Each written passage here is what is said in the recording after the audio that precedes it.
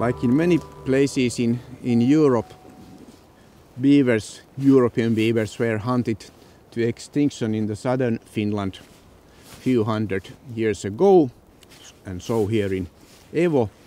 But then 1930s, first the European beavers, few of them were bought, brought here, but they dis disappeared for various reasons. And then 1957, American beavers were re released here one kilometer from here in that Keskinen Rautjärvi. And beavers have various reasons to build their dam. One important one is, is to get, get the entrances to the lodge to be un under water where they can safely then move back and forth. And then another reason here in the north is to have the water deep enough so that they have room for move under the ice during the winter and then like third one is related to their foraging behavior and, and food transportation when they have flood water in the in the shores they can safely get to the their feeding trees in the waters and can transport the food material in the water.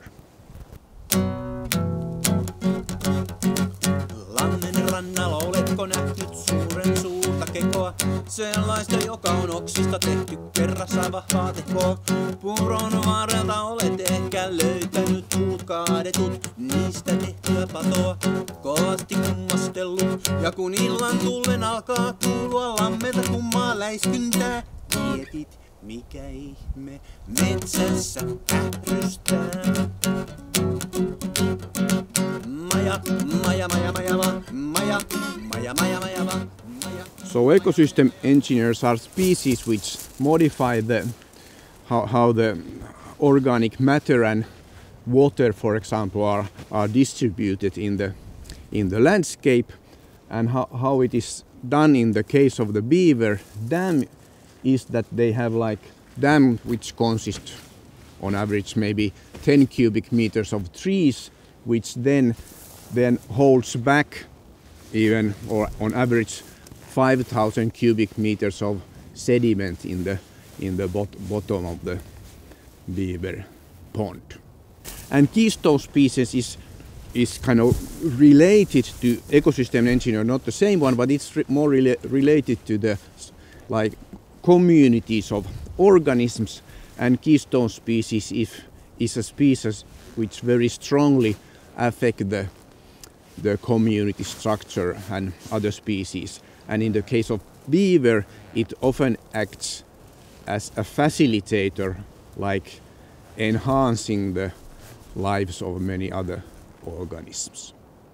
Um, starting from um, from invertebrates and frogs and and various water and, and shore birds and then also various mammals from moose to otters and to bats.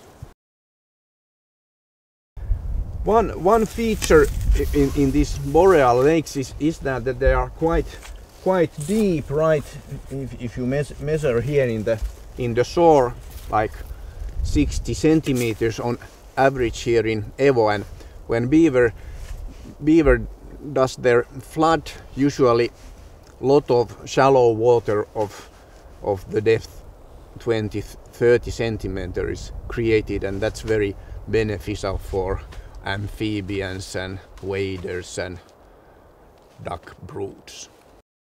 And the value of beavers ecosystem services in the northern hemisphere is estimated to be maybe even few hundred millions of do dollars and there are many many aspects there.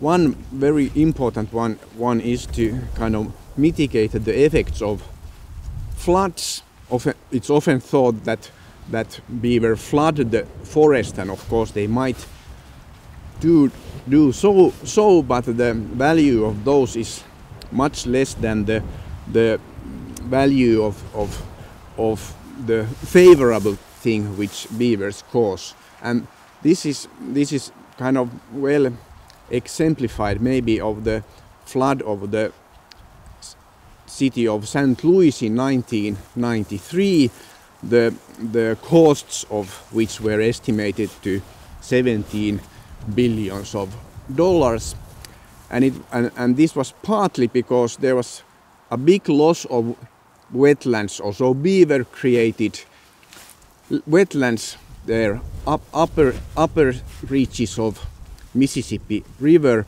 and it was estimated that had there been the original amount of beaver wetlands there in the upper upper reach they would have kind of hold there two three times the amount of water which flooded the the city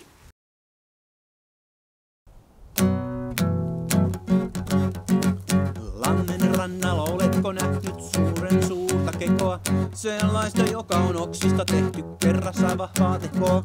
Puron varrelta olet ehkä löytänyt puut kaadetut, niistä tehtyä patoa.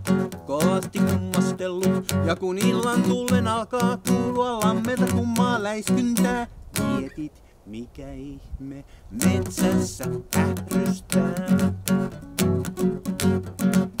Maja, maja, maja, maja, va, maja, maja, maja, maja, va, maja,